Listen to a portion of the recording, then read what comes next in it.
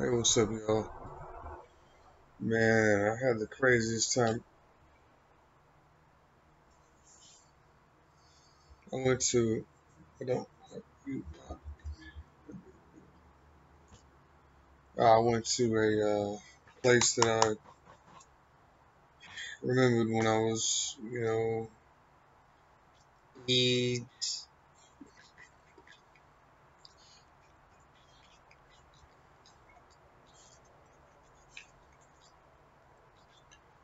Um,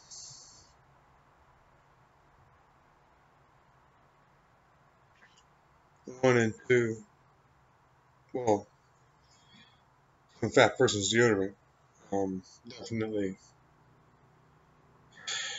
age one and two. Um, I was all over the place.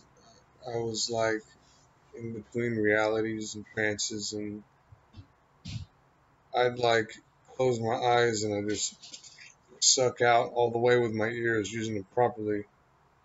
And it's basically where your ears let out, like squeezes everything out of it, and then it comes out of your ear, and then it goes like that. And um, happens with your eyes, you know, and then your nose, you know, in your mouth, your butt, and your thoughts that comes in, you know, they all kind of come in from somewhere. And um, you need to be able to take it, you know, kind of go out. But uh, I was at a hotel and I was with this person, and then there was this little yellow popcorn guy. It was like three or four little peoply people. And it was like I already lived that, my life in that building, and it was like at a hotel. And I was like changing sheets, going from room to room, and it was where my parents like had sex. But I was like a little small little ball, like a little piece of popcorn, and um, like the actual like hard corn. You know, and there was like a busted big piece of popcorn. I was looking at it as something from the screen. Anyway, I was like going around, and I mean, I did an exact replay of what I was doing for like probably about five minutes. Like just the people, the smells, the way the hallway smelled, the way their clothes smelled, the variety of the people. it was all a memory that I had, and but yeah, for the first two years of my life, I experienced like my whole life, you know, and a, a lot of other lifetime, like different places to go to, and I mean, I just wish I could have had a better way to do that instead of be lost in melancholy, which seems to be something that I'm still working on because I don't want to be porn again because I think I can keep myself together from here out. But anyway, I wanted to introduce some video games and you know keep making huge messes. And um, here's one of my ideas was a video gamer. And it's uh, where does the grass want to grow? And it's just looking at how you, you know you got a little like a controller, you know, and you can just use your amazing controller, you know, and you can move this scalp, you know, move things around with.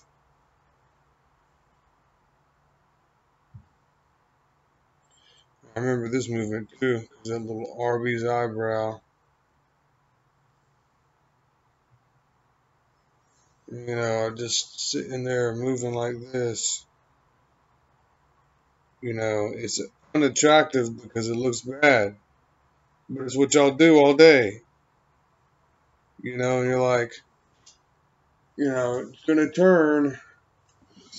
Also, we have a, you know, our heel is here, you know, and I mean, just to look at someone's foot messing up is commonplace because you're not allowed to flaunt your feet around and you're not allowed to,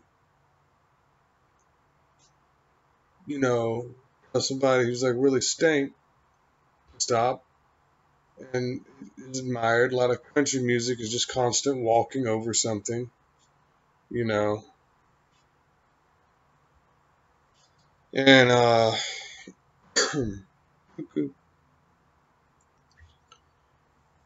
I think my hair looks horrible. I hate it on my head. I hate how it was grown. I think it's small. You know, it's like I have maybe like that much hair on my head. And it's just down here. And the rest of it doesn't even matter at all. You know. And then you can do this.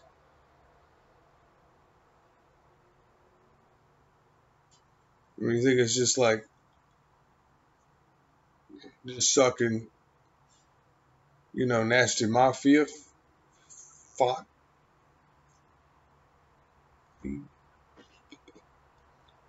Popcorn.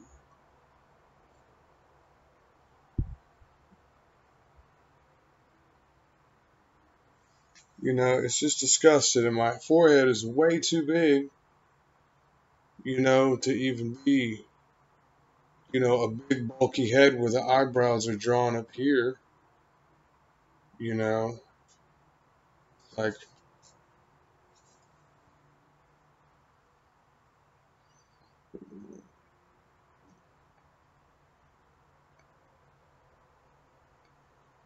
please.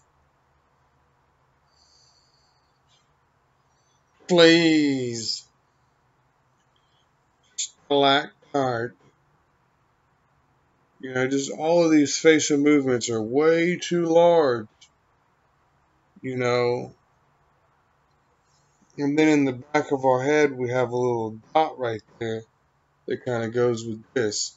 I think it's just an L to kind of line up the heel to take its step, but it shouldn't be like messing up everything because here we have the fact that if someone drops a pebble and someone has a sandal, you know, and it's a girl named Trish or like a transgender named Trish or some guy named Trish or something, you know, you see like a little foot in its sandal. And um, you know, you drop a rock and you'll follow the rock.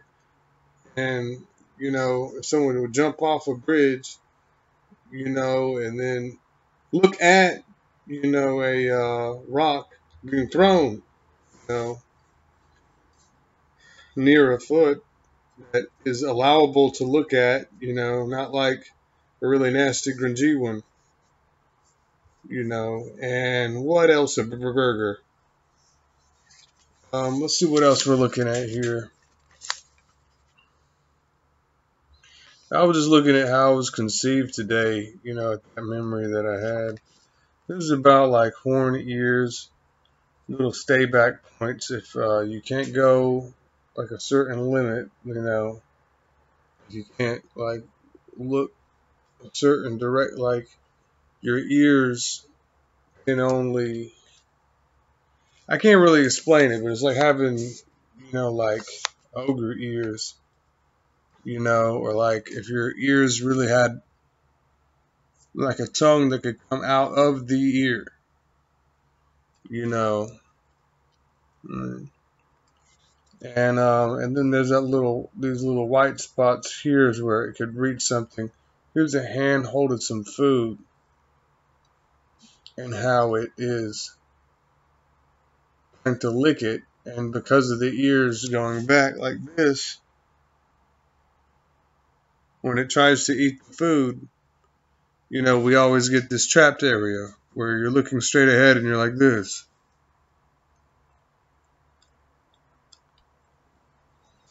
you know, or an equivalent where you can't eat something, like literally something that you can't eat it. You're like, it's hard to eat it. you know, or something like that. And then here we have um, a full ear, which is full of food taste and texture and smell, and how one piece of popcorn can fill up the ear.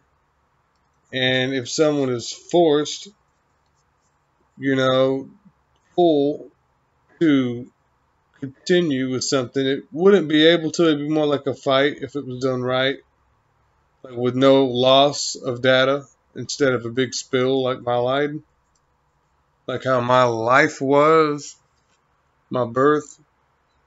And you can see how there's male and female here, that's one person looking, you know, but it's full, you know, so it's like there's no choice there. You know, so they, they wouldn't have been able to do much, really and then just piling on more things, you know, with all this disappointment and obviously, you know, letting it fall into the Badaki of the familiar who I don't want or don't. You know, here's the horn ears and how that is how our face more of looks, but our ears also have, you know, an extra eye here. Like when we push on our eyes, it has a purple, you know, thing there. You know, red. And right here, you know, you can see how this looks in. And then has these little two dots coming out. So it's looking at who's looking at it. And basically the ear is doing the same thing. Uses tongue to hear and it has you know not only your ears you know listen that way you know they also kind of like listen listen other way you know like our eyes do when they see instead of it just being in one direction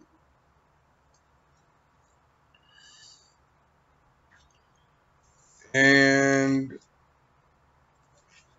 hairs are more important to talk to than you that's why I've been like this and all over the place. So I'm just talking to your hairs. Um, book hair, heavy head. This is just how I felt every day with my hair. It feels like I have a book on my head. And it feels like there's about probably 50 pounds on my head but I can't look at something the whole time.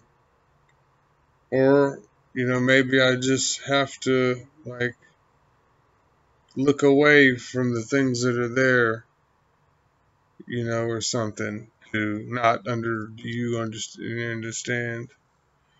And then we have somebody bent over at some point, and it was just uh, from that popcorn kid and the smell of the weird people that I didn't want to see that were unlike my cousin Robert, but actually like him and like some fat people, you know, probably like fat mafia wannabe children feet, you know, that smell still how it's overcoated my life and I don't want it you are world hairs and butts that get talked to and it ends up someone has a kite butt kind of like a soldier kite butt. It's like one of those Canadian guard butts. You know, it's like flat piece of paper. It's like a pastor butt. You know, and then um, it's just the fact that there was a loss of pressure there, where the head you know, my head was like avoiding the ass, but goes, I go in every ass. I mean, if I can. If I can't. Well, I try not to, too, but I mean, I know that something's wrong if it looks like I can or can't or anything. You know, if it's actually showing me it, you know, it's not good. If someone bends over and I can just not or go or whatever, you know when you have bookhead like that, when you have book, oh, a book huh, head like that, book, oh, okay. So when I have my triangle looking up pressure, I have my big way to understand things, you know, when I am not looking and bending over so I can take information. You know, a person who was also religious, who constantly was talking to me and wanting me or it or whatever, just layering it on top of me, the messages and responses like a bitch, you know. And it was just really, really how I felt if it was only one sided. You know, I mean, I hate something that's one sided and you have two sides to a conversation, of course.